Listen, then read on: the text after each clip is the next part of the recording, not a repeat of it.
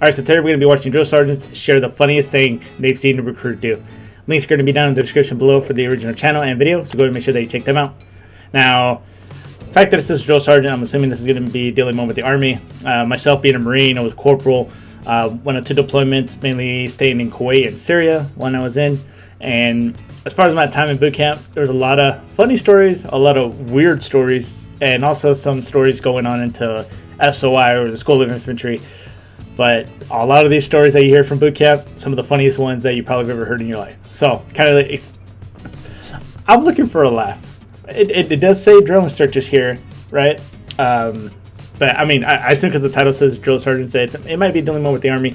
But I was curious to kind of see how any differences, similarities, so what goes on. So, that wasting too much more time, let's go ahead and get to the actual video, and maybe have a laugh or two drill instructor slash drill sergeants of Reddit. What's the funniest thing you've seen a recruit do that you couldn't laugh at?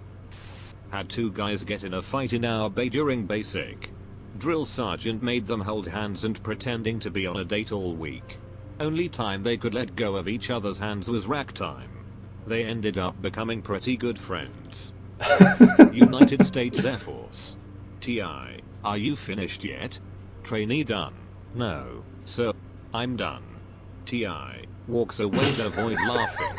On the topic of names, there are lots of things that are unfortunate to be called when you're Anchor Seaman, due to how it sounds out loud. I'm glad no one ever connected my last name to it. We had some poor souls, such as Seaman Swallows. Poor girl. Also had a guy with the last name Tits, Tits, and he was going for the rate of IC, so his name was Icy Tits. Then he reached back to and was icy two tits. Dude, you can't make that stuff up either. Dude, okay, so you, like for me, right? You had Martinez. For some other people, you had I don't know if I could. Yeah, I could. I, could say the, the, last name. You had my rack mate Ortiz. You had uh, some people named Alvarez. You had some people named. Uh, we, we, actually did have a guy named Dunn. Uh, we had some guy named Fairbanks, Fobble. Uh, you know, regular sounding names, right? And then there was some people like there, I'm, I'm, pretty sure I said it before. There was a drill instructor in another platoon whose legit last name was Killer. Um, we had um, one guy who wasn't in boot camp, but this was in uh, the fleet. His name was Two Lions. Now, I've never heard anybody else with that exact name. And there's just so many people with like names that you wouldn't expect it to be a name, or some people with first last names. Not many comments here, so I'll add my bit. One recruit left his training guide just lying on his rack. My lead RDC decided this was punishable by making the recruit stand in the middle of our berthing, hold the training guide in the left hand, salute it with the right hand, and then bring it in and gently whisper, I love you training guide. I'm sorry. Um, RDC, I, I, I think that's the Navy. Uh, I, honestly, if it's not um, Army or Marine, I really don't know what they would call like their drill instructors or drill sergeants. Uh, I think I'm, I'm pretty sure RDC is Navy and uh, the guide obviously being the flag. I mean, unless they have it named for something else, but. Sorry, I left you out. I'll never leave you lying around again. That shit was hilarious, especially because we were all put at attention while he did it for 45 minutes. That's something else. If you ever go to boot camp or any like basic wherever, some of the hardest shit you're gonna do is not laughing when it's a moment like this, especially when everybody's quiet and you're just like, really trying hard not to laugh. And then I, had somebody else on the other side of the squad bay who was a buddy of mine. I would make funny faces when we would stand on line, especially right before we went to bed. You know, you, you got to do the whole snap. So that when they're checking your hands, checking your face, checking your feet, checking everything. But before the our drill instructor would come to us, I'd be looking at him across the squad bay and I'd be like this, making just weird ass funny faces. And I see his face going, he's trying to hold his laughing. oh my god. Boot camp, man, you're gonna get some of your funniest stories out of there. In my basic training class, I was a squad leader which is essentially just a person who does extra chores. Anyways, for reasons unknown, myself and the other squad leaders were doing push-ups in the drill sergeant's office. Now, when you do these push-ups you eventually reach muscle failure, so you just sorta hang out there in the front leaning rest and try to bust out another push-up every few seconds or so. We're all in there dying. And the drill sergeant says to one of my buddies, Private Hudson, Tell me what's the difference between basic training and being in prison? Without missing a beat Private Hudson says, Drill Sergeant. In prison they get to watch TV. The drill sergeant cracked a little bit of a smile and then told us to get up and get out of there.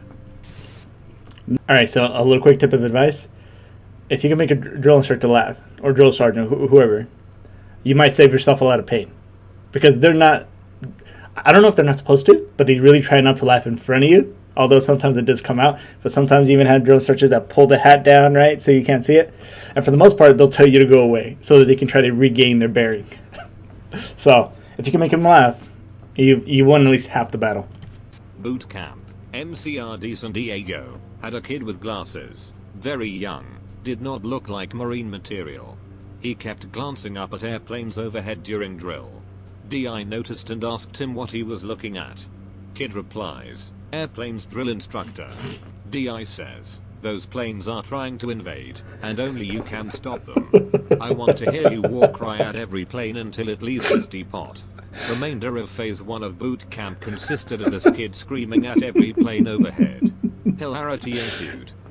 We had this kid who kept pissing himself. One day, after the range, he informs our DI that he had shit himself right after showers. Squad base starts to hold back laughter. DI, it's not funny. Awkward silence. DI, okay, it's a little funny, but we aren't laughing. Man never cracked a smile during the whole thing. okay, I could understand. Now, granted, you're grown men, right? At that point, at least, at the very least, you're 17. Uh, at least in, for the Marines, it's I, I. It might sound weird, but I'm a little more understanding of someone pissing themselves, right? Especially if it's like, say, at night, because sometimes you just don't have access to a bathroom because you guys are doing something, right? And nobody wants to say that they have to use the restroom and especially at night when you're ha- having to chug a full canteen, you got to piss pretty damn quick within minutes. It just hit and wreck. So everybody tries to rush. We have these four little containers of uh, detergent that we have to take into the bathroom, or they call it the head. And then as soon as we go in there, you can't go in there unless you have one of those. So four people at a time. If you get caught, then they're gonna wake up everybody else, and then everyone's gonna be pissed off at you. But the fact that you've got maybe at least 20 guys right after go- going to bed hey, that they got to get up to take a piss. So you got people doing happy feet all across the squad bay trying to hold it in. Some people pissing in their canteens. I never did. I always managed to hold it, but I cut it close very damn quick a lot of times. And I can understand if somebody pisses himself during that. I could understand it, right? Are they going to make fun of? Yes. But I'm pretty sure a few people actually did it and just never told anybody. But as far as shitting yourself right after a shower, I, I don't understand how. I mean, unless he was sick, um, maybe. whatever the answer, that's not funny. It makes it a lot more funny, especially when it's very silent. And it says, okay, it's a little funny, but we aren't laughing. There's a lot of times they'll also say that, hey, we don't curse here after they just cursed. So. What's that disgusting crap all over your glasses? Maggot. I believe it's your saliva. Drill sergeant, sir. Closes eyes and waits for death. Never was a drill sergeant, but when I was going through US Army Infantry School, 2004, we were taking showers when one of the drills came in and called us to toe the line. When I got out of the shower I found someone had stolen my PT uniform and towel. So I grabbed my shaving cream and covered my cock in cream, then walked out to my bunk. The drill came up to me asking what the duck I thought I was doing. I told him my clothes and towel were gone, so I did the next best thing. He said, you know what? You're going to do alright in the infantry. okay, first of all, to, to you mother, mother effers that did that, I swear to God, because they happen a lot. So, which is why whenever you would go to the PX or get a chance to go to the store, buy extra of everything. Because you never know when someone's going to take your shit. Which is crazy because, like, how do you lose your own stuff, right? That you have to take someone else's. Like, you're in a squad bay. But what it says, because it says the infantry school, so he's early in uh, the, the U.S. Army form of S- SOI for the Marines, right? And dude, I think the worst time, or like the only time that I ever uh, actually had something stolen from me that actually required me almost to be like, hey, I really don't want to get fucked because this wasn't even my fault. It was the one morning when we woke up and my shower shoes were gone, right? Um, or essentially my sandals. So I didn't know what to do. I didn't have an extra pair. Luckily, my rack mate did. They're, they were a little small, but luckily they helped me. So also help out your buddy, right? Or at least give him something. Give him a towel. Or wait, did they say he took his towel? Oh yeah, they did take his towel. Okay, so he was kind of. I felt like that was deliberately on purpose. but you're going to do all right in the infantry. I could definitely see that. Adapt and overcome. Buddy of mine told a story when he was at basic. One guy had said, yes ma'am, to the female DS earlier in the day, so when they were all lined up, she was going down the line, asking each person if they called her ma'am earlier. The guy who did was fourth in line. Heard the three previous guys say, no, drill sergeant, and then said in all seriousness, no ma'am. In the academy, one of the DIs had a recruit doing push-ups. He told the kid he was going to do push-ups for 5 minutes straight, or something like that. As soon as the kid started, another DI approached the first DI and started arguing that the kid hadn't really ducked up that bad, and he didn't really deserve to be punished. After some back and forth, he agreed that the kid did indeed deserve to be punished. The first DI then said loudly that he had not checked his watch, so he would have to start the 5 minutes now. At that time another DI approached and started asking for mercy on the recruit, who was by now basically just humping the ground sweating. it went on like that for a while. Good times. Oh god. Early in boot in MCRDSD we were post shower, and at attention for the hygiene inspection, wearing nothing but skivvies and t-shirts. The DI is walking the line checking fingernails and whatnot, when one private's hard-on flops out of his skivvies right as the DI passes him. The DI stops, looks the private in the eye and says, Private, I don't even like you. Much less like you that way. Now put that goddamn thing away before it goes off. The private in question turned purple with embarrassment, and tries to stuff his boner back in his skivvies, but is getting flustered as the DI starts yelling at him for being an incompetent private, and that if he didn't get it stowed in 3 seconds, the private would be taking a 10 minute cold shower. Things like, do I have to hose you down like an excited chihuahua? Should I call the vet? Good god. Private, is that how you greet your mother at night? Stow your gear. God damn it. Every other private in line was trying not to laugh, and the SDI had retreated to his office where we could hear him howling with laughter. The private finally gets his junk stowed and the DI resumes inspection, and you could see he was trying his damnedest not to bust out laughing. No one got much sleep that night, there were too many gigglers in their bunks and too many quiet one-liners. Okay. I don't know how the hell it would pop out. I mean, as far as I remember, nobody wore silkies, right? And in fact, they said MCRD San Diego, which is where I went. And holy crap, I'm sweating like crazy. But I don't understand how it would pop out. Honestly, if I was there, I'd start laughing too. But also at night, if anybody ever fucked up during the day, there'd be a lot of one-liners that pe- people would say to each other. There was one specific time where somebody, the way that they would say all the stuff when they're checking them, he says them very like loud and very quick, right? And then one of the guys after the lights went out started making fun of him, and then a whole bunch of people started making fun of him. But the one dude, there's always that one guy that takes it really far, and this dude said, and I'm not, I mean, this was just at the time. The guy says shut up so and so before I rape your dead body, right? And everybody, you would assume everybody, at least like the guys there, would start laughing. But the reason nobody laughed was because the drill instructor was right there. I don't know how he didn't see them. I did, and I was trying so hard not to move, not to n- not to laugh or anything like that. And then he just goes, "Oh, so I guess we like raping dead bodies, huh?" This guy, literally in the most funniest voice, goes, "No, sir." When I tell you, I, I look to my left and I look to my right and I see Rex vibrating so hard trying not to laugh. and this guy was like literally behind me from where my face, because my face would be facing the uh, the wall, not the inside of the squad bay. I turn slightly and then I see him. The, the day I started looking at some of the other recruits trying to figure out who's laughing. Right? Oh, yeah. It was one of the hardest moments to not laugh. My favorite basic story, Fort Benning 1988, was during a locker inspection. The most steely-eyed, straight-laced DS we had was going through our stuff looking for contraband. He is asking random questions at the same time, Very professional and serious. Then he asks a guy a few lockers down from me if he has any naked pictures of his girlfriend. Recruit yells, no drill sergeant. Drill sergeant looks him dead in the eye and asks, do you want to buy some? A bunch of us started cracking up and had to push.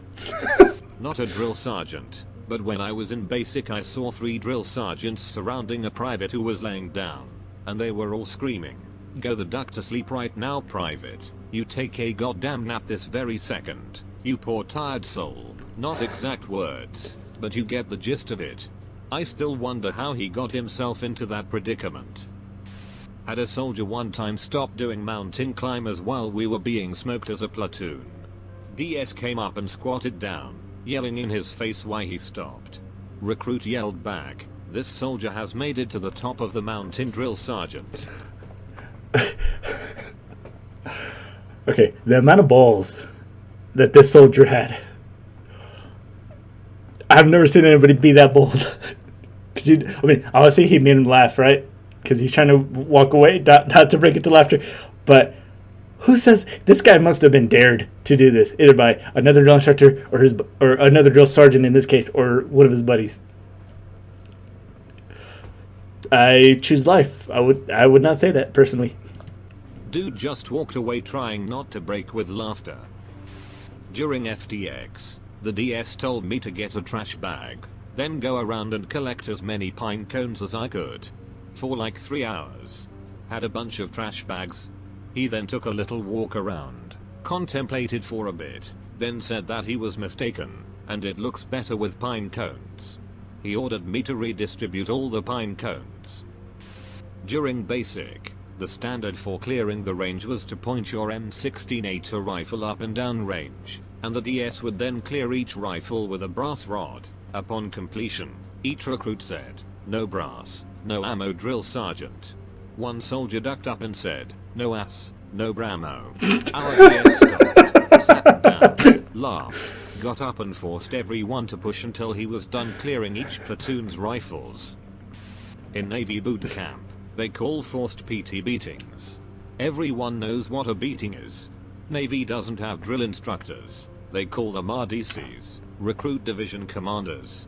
One day standing in ranks, the RDC is going around asking random trivia questions about a test we had to take to make sure we had been studying. He gets to a guy who was eccentric, to say the least. This is about a month and a half into boot camp. RDC asks the question, guys gets it wrong. So RDC yells, no wrong, beat yourself. Literally everyone knew this meant start doing push-ups, so the expectation is he will start doing push-ups, as the RDC moves to the next guy to ask a question. I was standing across from the guy, and he had a confused look on his face.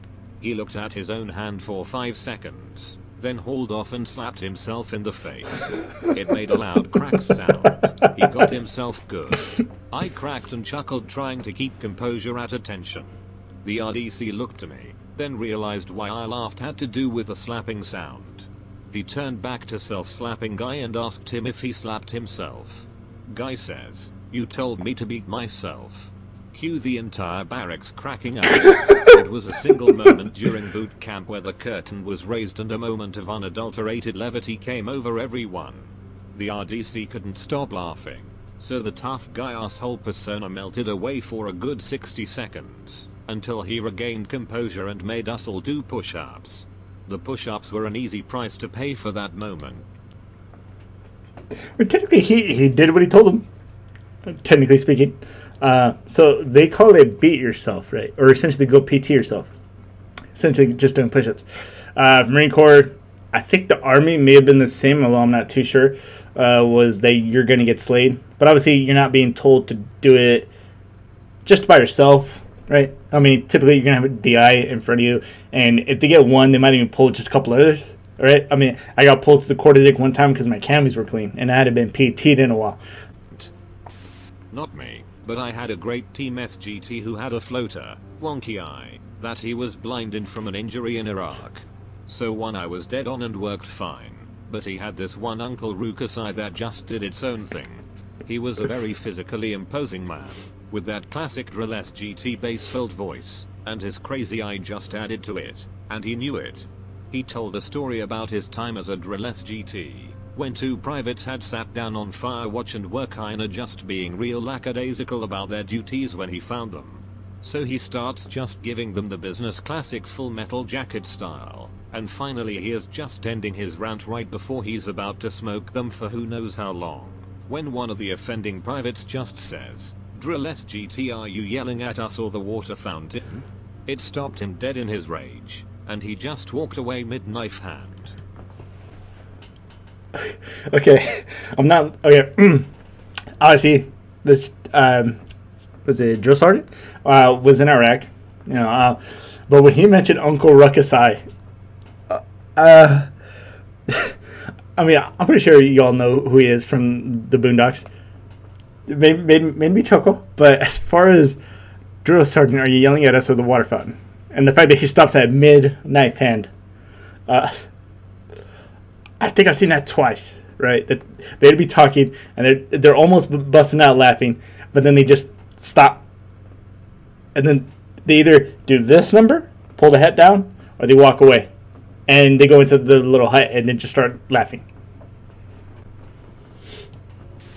Had two guys laugh when RDC walked in, so he had them stand almost noses touching each other. One would yell, want to hear a joke, and the other would yell, ha ha ha, repeatedly for hours. It was hilarious at first, but once their voices started to crackle, it got old pretty quick. Story from my wife while she was in BCT. They are eating chow one day early on, maybe first or second day out of reception, and they hear a drill instructor yelling, why the duck are you eating salad with a spoon? Apparently, in reception they had been told not to bother with forks since they had 5 minutes to eat their meals. Dude wanted a salad. He decided, duck it, I'm eating salad with a spoon. Hilarity ensued. Drill instructors let everyone know that not using forks is a dumb ducking rule, and whoever told them that is ducking stupid. It's an unwritten rule that early on you're supposed to stick to the normal foods and not venture off from the basics. We had one guy on the first week grab a cheesecake for lunch. Next thing I know, all four DIs have their own cheesecake and sit down next to him. They're all asking him how his day is going, if he's having fun, any girls in his life, etc. Totally normal exchange, which caught us all off guard. Finally they all finish, and as our DI's getting up he says, Recruit, that won't be the last time I see that cheesecake. It wasn't the last time. The recruit threw it up later after the DI made him run three times more than us. Alright, so two things. Um, don't get any of the of the I guess like sweets, right? I remember at one point you try to sneak because you have to like at least um, in uh, MCRD when you when you're going down the line, there's like this little corner that you have to do like a drill step where you turn, right? And there's three drill instructors there, or at the very least there's one, and you have to say good morning, sir, good afternoon, sir, good evening, sir, and you're practicing your drill, right? Now, sometimes if there's two, they'll be talking to each other, and they won't notice if you get like a donut or something, if you're able to get it quick. And one time I did, they didn't see it until I sat down, and I'm trying to eat it real quick, and then a drill instructor comes over comes over to me and says, "Hell yeah, Martinez!" Oh, like old cracked voice. Hell yeah, Martinez! Got some of that pink stuff, huh? I was like, God damn it! Uh, yes, sir. Mm, He's like, uh huh. Oh, we're gonna be in good tonight, right? And I was like, yes, sir, because I really knew what was coming up next later. but the worst thing that could probably happen to you, and, and if you see this, if you see this happening, just know some yelling is gonna come out of nowhere. When they start talking to you very calmly, very normal, I'm surprised that didn't happen here. Obviously, they took care of him with some PT, but usually when they talk to you, and it seems weird because they're talking very nicely, they're talking very calm. At any second, they're gonna blow up on you. So be ready for that because it's happened to me a couple times to the point where I was eating, and I was just like, and I just I shook because it caught me off guard. Look at all the sweat. Damn. So when you start basic your body doesn't know how to handle no sugar, caffeine, rigorous exercise, and sleeping schedules, so it's in shock. With this shock, shitting becomes a problem for a few. Well, every DI after the first week is required to ask around if everyone has taken a shit, and from there he assigns one recruit to track who has shit and who has not. I shit you not. Pun intended. We had one guy who would stand in the barracks at the end of the night rolling off names of people who hadn't shit yet. Finally, we have one guy who is still on there after two weeks, and the DI tells him to go to the doctor. The doctor gives him an get out of jail free card, essentially saying that at any point, he says the magical words, I got a shit, and he can escape any situation. Well, recruit can't shit we'll call him gets the smart idea that he's going to play his new trump card as long as possible. Every time that we're getting grilled, I gotta take a shit comes ringing in from the back of the formation. This probably happened 6 times until our DI caught on. Finally our DI devises a plan that when recruit can't shit goes into the bathroom, he's going to have a couple of us hold onto his legs and slide him into the stall all exorcist style. the time comes, and recruit can't shit excuses himself. We all follow our DI into the bathroom and slide him under there like he's the spawn of Satan. this catches recruit can't shit by surprise. He doesn't know what the duck is going on, as the DI is utterly berating him about lying and using this as an excuse to sit on the toilet. Then we hear a very audible oh shit from the stall. The DI scared the recruit so much he actually took a shit right there. The DI made every recruit look at it, and we played taps for it as we flushed it down the toilet dude, it that's a, that would be a serious health issue, right? Two weeks not taking a shit. Now, granted, when I barely got there, I had trouble doing that as well. I mean, g- given the fact that I was still like maybe two or three years older than most of the guys there, uh, there's a couple people within my age group. But the really thing that surprised me was that all the stalls, especially in your first little squad bay before you get to your actual squad bay, they had no stall doors, right? So I'm gonna take a shit. I mean, there's a specific way I take a shit um, it, just, it felt weird. People just seeing me because like literally the sinks and the mirror were right there in front of you, and there was no door. So I took a shit, but it was only like half a shit. Um, like the first day or two that I was in that squad bay, I think it was just a day, or maybe two. But when we finally got to our, our own squad bay where we were actually going to be at, um, still kind of had the same issue. You know, you still have the stalls open, except now you have stalls facing in front of you. So you can see someone. So the initial rule was like if you had one guy here, no, someone wouldn't be in front of you. There would be at least one stall over. So like you can still kind of see each other, but you're not seeing each other too much, right? And most of the time now, when we would get our drill instructor square away time, we would take that time to really take a shit because we'd be a lot more like we're not having to do it um, at little small intervals, right? And I just realized that's the last um, thing. But so we realized that um, I didn't want to do it because it would take me like maybe 10 minutes, right, to take a shit. So I couldn't do it in like the time they would say, hey, you got two minutes to go take a shit, piss, before we start doing something else. So I would everybody for the majority would wait at night, really be able to take the time. to get an hour, enough time to take a shit, take a shower, scroll away some summer stuff, maybe talk to a couple buddies. And some guys in those two minutes would still be able to take a shit and they would just say, hey, that they're just pinching it off. And it's like, no, no, no, no, no. Are you guys even wiping? Are you guys doing anything? Because you guys are doing it like quick, right? I, I mean, after a while, it just really became just natural, right? Like, hey, you're taking a shit in front of another guy, whatever, right? I mean, technically, you got 90 people in there taking showers. We're doing a little spindle or like a little wagon wheel, I think they called it, and we're going around in the showers, and all you had was a soap and towel in one hand. You're holding the towel out to the side and you're trying to get the soap all in everywhere. You got sand all over you and you're really just wagon wheeling it. Everyone's always complaining everyone's going too slow. And then because some people, because there, there's still a time limit and we're having to go all the way through. Hopefully you get all the soap out of your hair and your body and all that. And honestly, for the most part, you're just kind of always around guys that are, they're just kind of naked to each other, right? And that's kind of just how it is. You know, I, there's like 90 of us and it, it, I think the weirdest thing is that the DIs are right there, right, kind of supervising the whole process, make sure like everyone's actually taking a shower. Because we actually had one guy damn near almost get butt bugs to everybody because the dude was not taking a shower. So they literally had to make sure that you were going through this whole thing, and it's just weird because they're like all dressed up, we're naked, and they're just kind of like arms crossed, looking at us, right? So it's a little weird at first, but then after a while, it just kind of becomes, again, natural. But in any case, that's going to go ahead and do it for this video. Let me know if you have any some of your own stories that you want to let me know down in the comments below. Always love hearing these types of bootcamp basic stories. Kind of always just bring me a little chuckle, as you can see. That's going to go ahead and be it. Don't forget to like, subscribe, really does help me a lot. Hit the notification bell so you get notified every time I do upload. Hit that dislike button if you didn't like it. Leave a little comments to me what it was. And I've got to switch out of the shirt into a new one before I go into the third video. Because I'm sweating. Look at this. It's ridiculous in here. But until then, I'll see you all on the third video today. Bye.